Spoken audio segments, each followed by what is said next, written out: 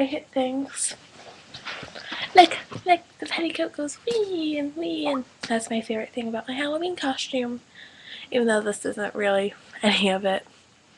It's the crown and it's the petticoat, but it's not the dress or anything. This isn't even the shirt I wore when I wasn't wearing the dress for uh, trick or treat.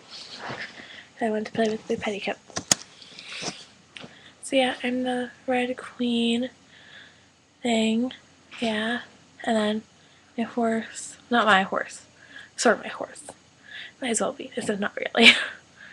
the horse I ride at horseback riding was Tweedledum, and then this girl at my barn was Alice, and her horse was Tweedledee because they look alike. There's are Moxie and Gracie. I'll show you a picture, except this is a webcam video when I'm lazy and, you know, I'll do it next week. But I'm not falling asleep ridiculously early and waking up like 20 minutes before I had to film a video. So, yeah, there's that. Favorite Halloween memory? Uh, it must have been between like the ages of six. I probably was six. I could have been seven though. I went trick or treating two times a year. I went once in. This wasn't really my neighborhood, but I only went trick or treating once. Maybe it was when I was seven. I don't know. No, I went once. Oh, I definitely went trick or treating with at my grandparents' neighborhood, my maternal grandparents' neighborhood. And my cousins would go, and we'd get there early. Like I would get there early, and I'd help pass out candy to the first few people. And this year, or this particular year, this little girl came up to the door and went, "Give me candy." And I was like, "Yeah, we tried trick, teaching her a trick or treat. That didn't work." And then the little girl just kind of grabbed Reese's pieces and or not Reese's pieces, they didn't have those back then. Reese's cup and like ran off and it was really adorable and I told that story very badly, but it was really adorable.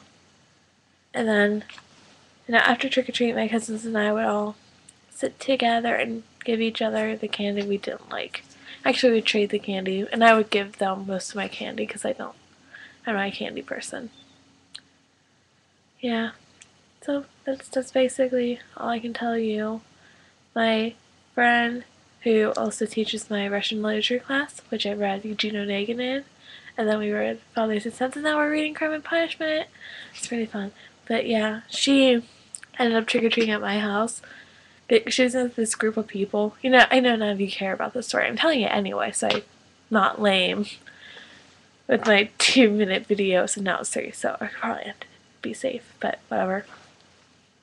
And, you know, like the first two people were like, oh, I'm Alice, and the person like, oh, I'm Red Queen, and we're like, oh, twinsies. And I turned around to give the other people our candy. She's like, Chelsea, and I was like, Julia. It was a very happy moment. And then I showed her where my room was so she could creep on me properly, even though I'm never in my room.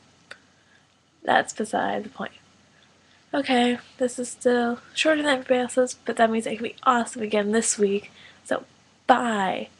Oh, happy time change, everybody. This Sunday, right? Yeah, that's why I'm changing my clocks. So it better be this Sunday. If not, then I'm making it.